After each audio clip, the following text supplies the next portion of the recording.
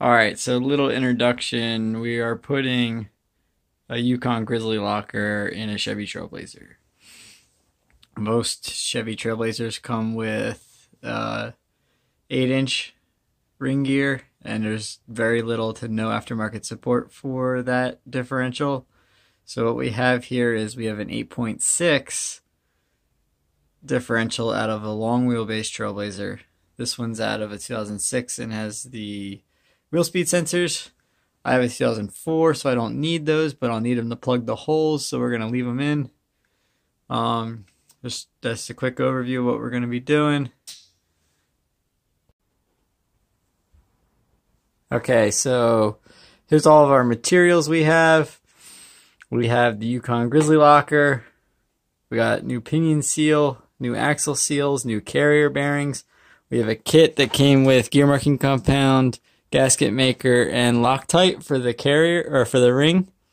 We have carrier shims, gear oil, a gasket, a cover, new bolts for the cover, and new backing plates for the brakes. Um, you can get the cover from GM. It comes as a kit with the reusable gasket, the cover, and the bolts. It's like 28 bucks. If you buy a reusable gasket from like Man or Fel-Pro, it's like 35 bucks just for the gasket. So definitely do that. Um, first thing we're going to need to do is to have to open up the differential and get the carrier out so we can get the ring gear off of it. So we have to put the ring gear on the Yukon.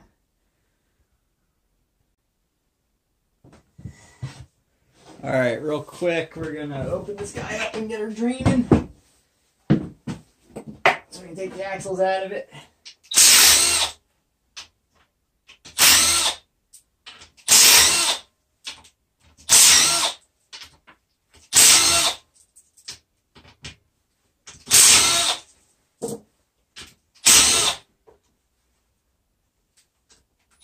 Leave a bolt at the top so the cover don't splash.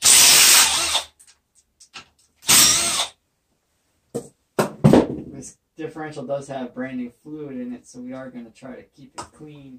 So we can use it for a trail spare.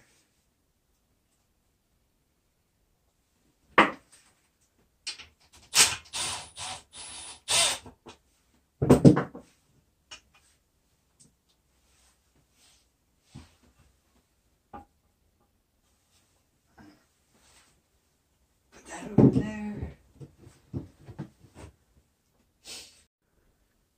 All right, we're back. I got my tools ready.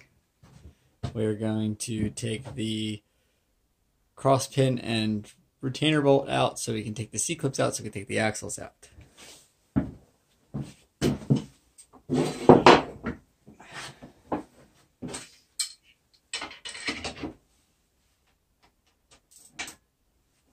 We're taking out the bolt that holds the pin in. It's a 8 millimeter on these. Um, we're going to hope that the bolt's not broken. Sometimes the pin wears and breaks the bolt.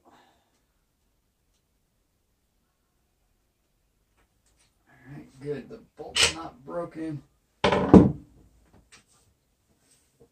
It's got a little wear on it, but that's normal. You can see the, the shiny. We're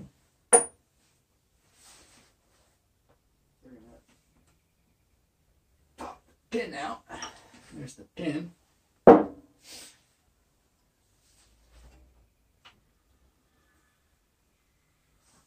I have a magnet. We're gonna push the axles in a little bit and let's get the C clips out. Took my pry bar. I couldn't get the axles in far enough to get the C clips out, so I pried here and pulled the axle in, and the C clip fell out like it was supposed to. I guess the seals out on the end are stopping the axles from coming all the way in. So now we can pull the axles out.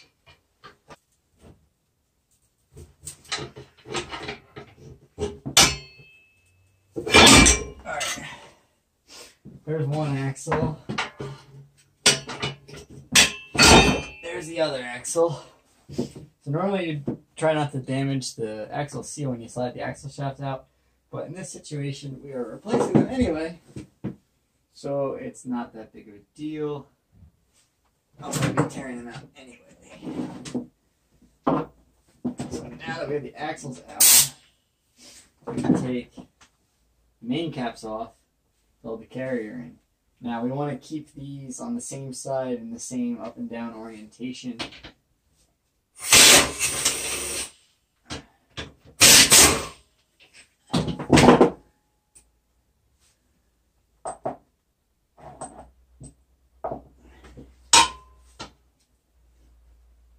We want to keep that on this side, just like that. And then we're going to do the same thing on this side. And we're going to keep this one on this side, the same orientation.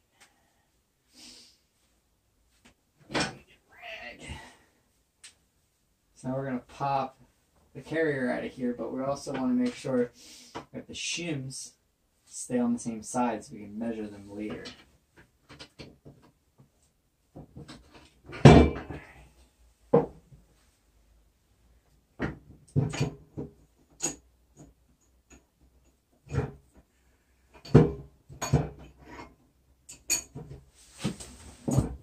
Carrier. Alright, so this is the shim. We need the shim on this side and the shim on that side so we can measure them later when we go to set this thing up. Alright, so we have the carrier and the ring gear set up. We're over here on the bench to take the ring off of it because we need to put the ring on the locker.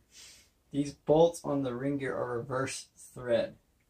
So I'm going to have the impact wrench in forward to remove them. It's weird. So we have the gun forward. These are 19 millimeter on the the bearing caps that hold it in. They're 18 millimeter.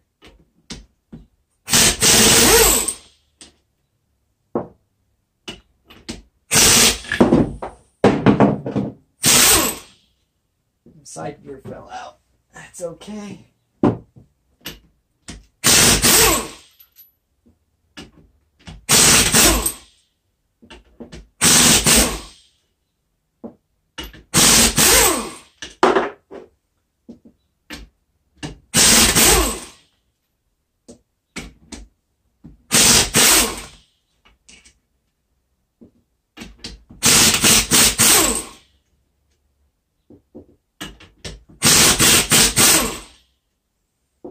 All right.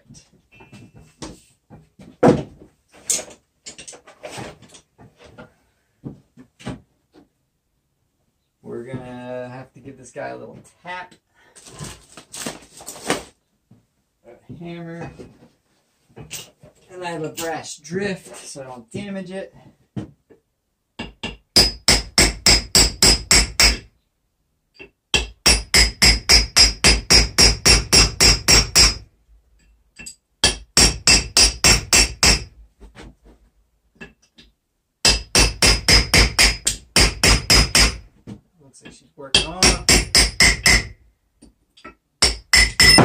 There she is.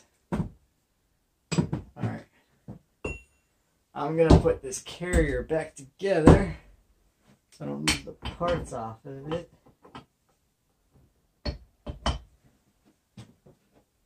Over for now, I'm gonna keep that over there. Alright, we're gonna clean up the surface.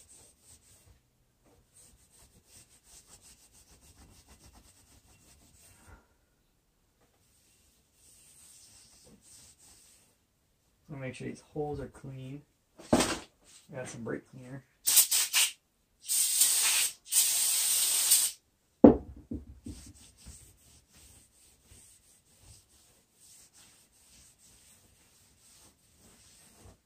These holes drain.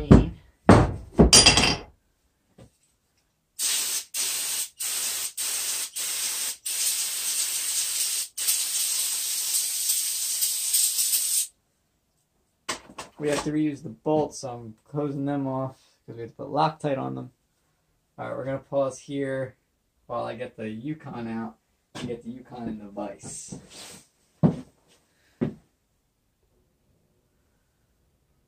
Alright, we're back. We got the Yukon Grizzly on the box.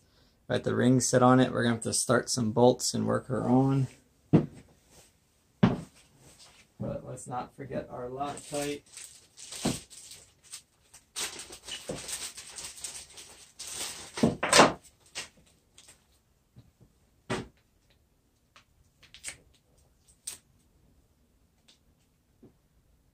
So I got the bolts cleaned and dried.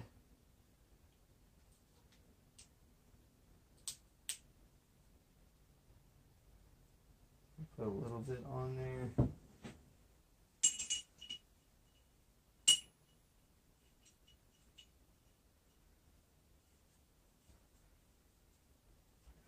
Rookie mistake. The bolts are reverse thread, remember?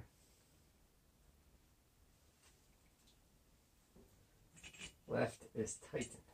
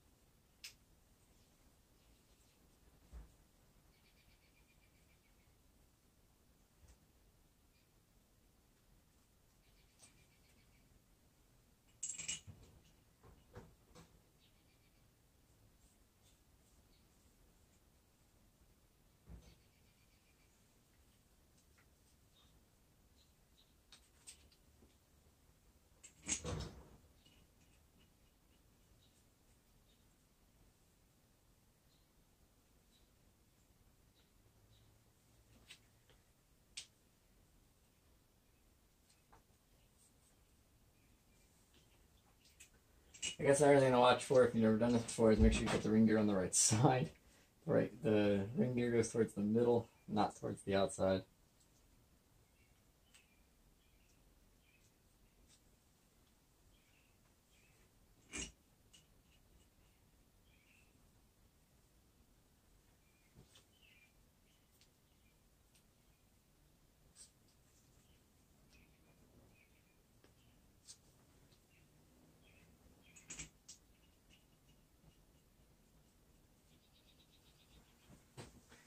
Alright, I have my homemade soft jaws with a vise.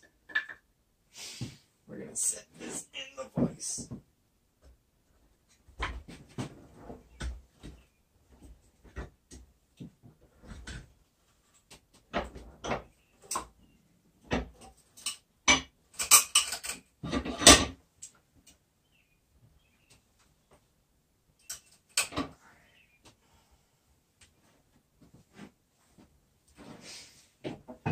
Alright, we're gonna seat the ring. I got the gun in reverse because the reverse thread.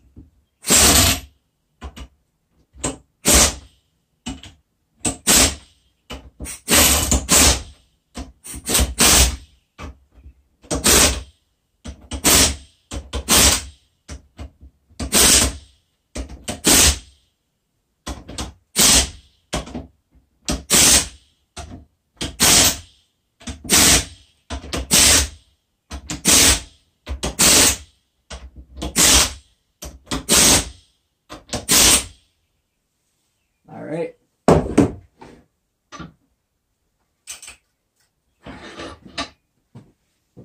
Now we need to get our torque wrench.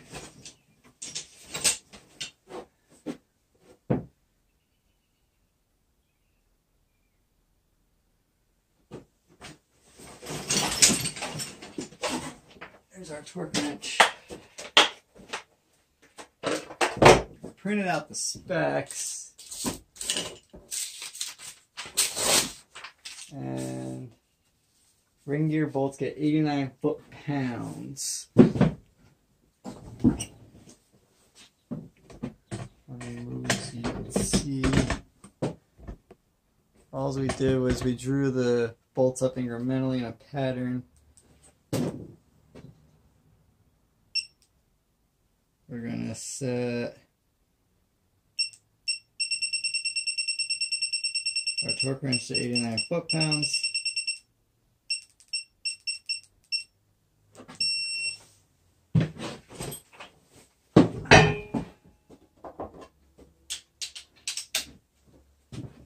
Socket.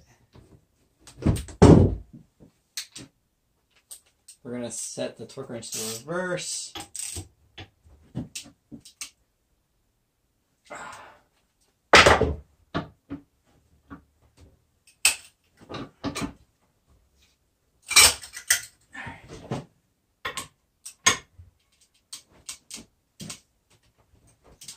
Come on. We're gonna have to do something different.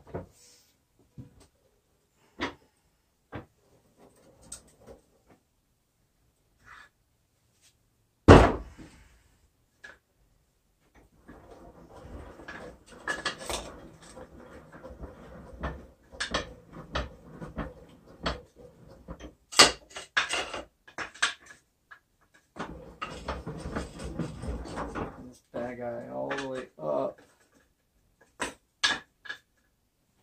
And see if the whole thing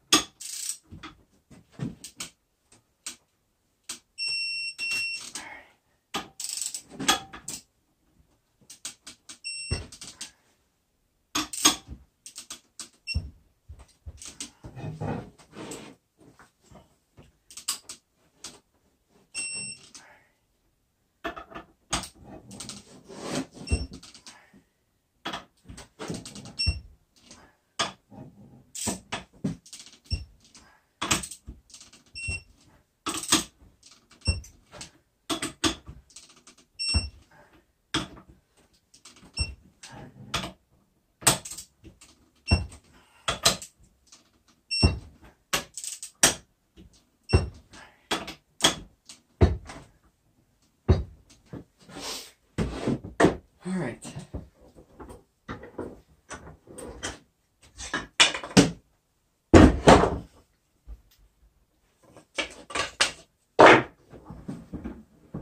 Now we have that seated on there. Now we need to put carrier bearings on the carrier.